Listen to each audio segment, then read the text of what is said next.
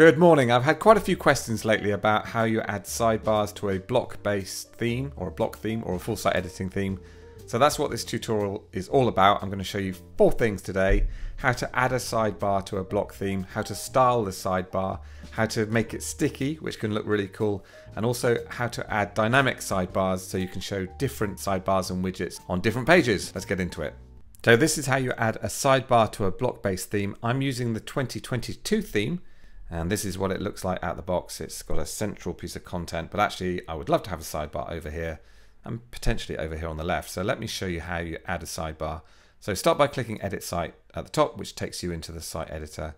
Then we need to find the page template. Now 2022 theme has two page templates. It's one called page and one called page no separators. The no separators is a slightly different design.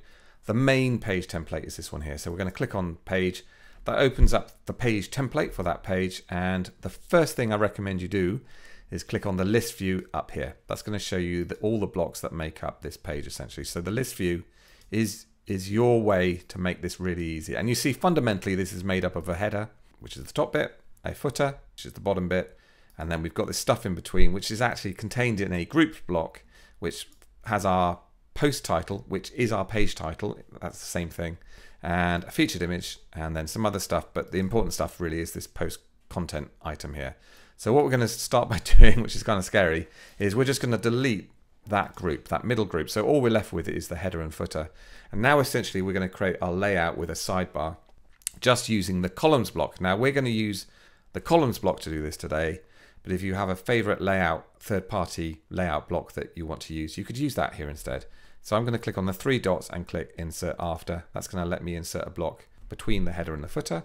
And then I'm going to actually hit forward slash columns to find the columns block. You could use the block inserter to do this and drag it across, but I find hitting forward slash and then the name of the block is quicker. And then just find the columns block here and insert it. It's going to ask me what layout I want for this. So I want the, the content on the left and the, the sidebar on the right, which is that little option there. That sets the columns layout for me. Now I could change the width, the width of each of these columns by, by clicking into the column and selecting the width over here. I'm kind of happy with how they are, so I'm going to keep the proportions the same. And now we just need to add the content into our layout that we've just designed. Now I'm going to keep this really simple today. I'm just going to add the post title block. Now the post title is the same as the page title. It's the same thing. So I'm going to add that block in here. And then underneath that, I'm going to add the post content. You see, I'm just typing post content. And that's all I've got in this left-hand column now. Let me just show you how this looks to start with. So I'm going to save that. So what should what should have happened now when we go and view one of our pages, we should have some content on the left like this and a blank space over on the right, which is going to be our sidebar. So now what we have to do is add the stuff into our sidebar. This is what we've got so far. And I'm actually just going to add a search box over here. So I'm going to search for search. That adds the search box. Then I'm going to click insert after. I want a bit of space after it to let it breathe a bit. I'm going to add a spacer block and then after that one, insert after, I'm actually going to add an image block like so. I'll just choose an image from my library. But you could add any blocks into this sidebar that you wanted. Just click save and when I refresh this now, boom, there's my sidebar. And that will now appear on every single page that's, that's using that page template, which is all your pages at the moment because that's the default page template. So let me show you this. If I just create a new page quickly, let me just add some content into that page and publish it. You'll see that that page now inherits that page template and there's our sidebar. So that's how you add a sidebar. Next up, I'm going to show you how you style it. Right, styling your sidebars is super easy because we're just using blocks. So it all happens at the block level again. So we go back to the page template that we've just created. Use the list view to select the right column the right column, which is this one here, which is the second column. So now I've got that selected. We see some settings over on the, the right that we can change. Now all I did was tweak a few little things here. I actually changed the background color to this nice subtle gray. I also added some extra padding because it's quite tight at the moment. You see how the image, there's no real space between the search box or this image and the column itself. So I just added a little bit of padding here. I added 50 pixels. You can decide how much you want to add. You can also, by the way, you can add padding at the top level columns block. So if I add the top level columns here, you might want to add a bit of padding into that. That just gives the whole column a bit of room to breathe. Now when we go back to this page and reload it, there we go. We've got, it was quite subtle, but you'll see that the whole columns block has got a bit of padding around it.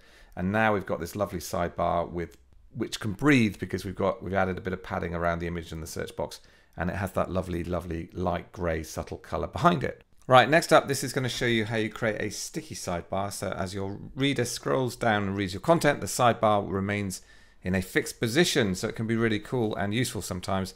We're actually going to use a free plugin to do this called Sticky Block for Gutenberg Editor. I will put a link in the description below for you. So just install that as you normally would in your plugins, which I've done on this site. You can see it's active there. And then go to the site editor find your template, your page template that you've already been editing. Here's the one I created a few minutes ago. Then we're going to start by clicking on the list view. So the list view again is super helpful because it shows you a really clear view on what you're building. And I would say collapse, sorry, uh, yeah, collapse the header and footer one. So you're just left with your columns block here essentially.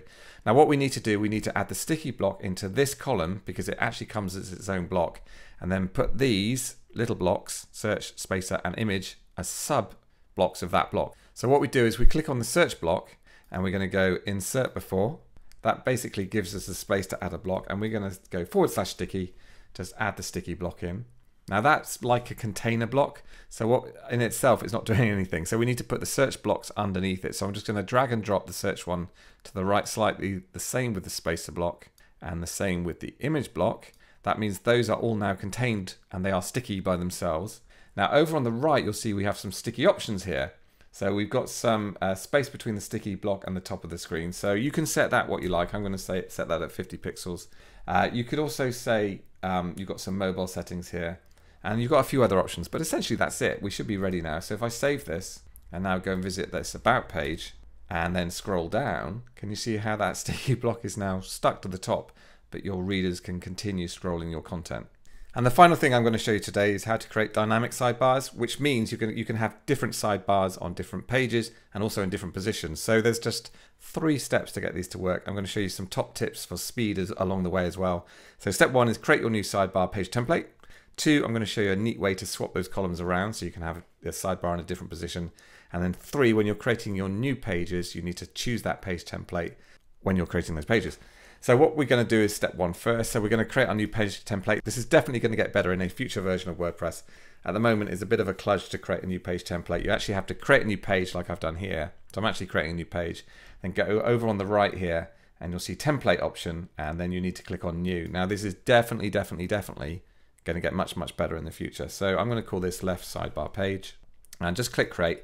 Essentially, this is creating a new blank page template that I can use. And then that creates the base template. And now I'm just going to get out of there um, and go back to the site editor because it's actually created it for me. So if I go to editor now and go to my templates, you'll see I've got a brand new page template called left sidebar page, which is cool. That's just waiting for me to create my page. But I'm actually going to do a shortcut here. What I'm going to do is go back to the, the page template that I've already created with my sidebar and I'm going to click on columns and I'm going to copy the whole of those columns because I'm going to copy these into my new page template and then just switch columns around. So I've copied that by clicking on the three dots and clicking copy. Then I go back to my templates, click on left sidebar page. These are my, this is my page so far. So actually what I'm going to do, because it doesn't quite create it in the right way, I'm going to delete a lot of these blocks. So I'm basically just starting with a blank page template and I'm going to basically insert after here and I'm going to add the header first because for some reason at the moment when you're creating a new page template it doesn't create you your header properly. So I'm going to choose header and just choose existing and that just brings in my existing header. You see how quick it is to build, build these things out?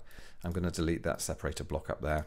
And then under the header, header here I'm going to add a new block I'm going to go insert after and then I'm just going to paste my columns block into that space you get what I'm doing here and then I'm simply going to switch these around. So I can click on the column block here and just switcheroo and see how it's just switched it around.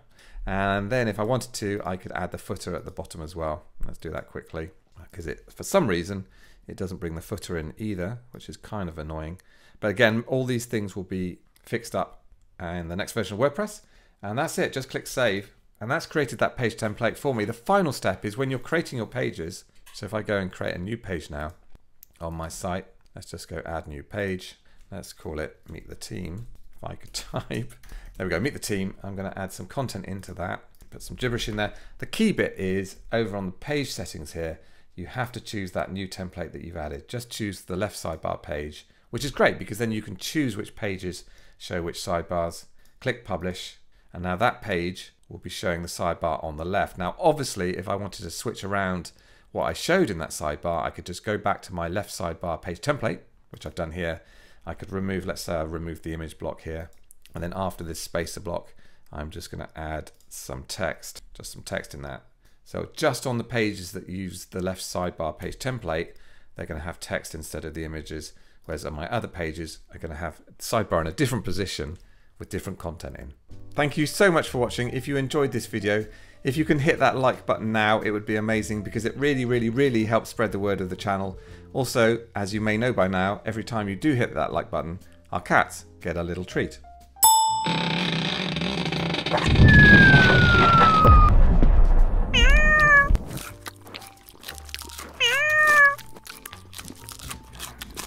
So thank you again for watching. If you want to see more videos like this, hit that subscribe button now and you'll be notified every time I release a new one.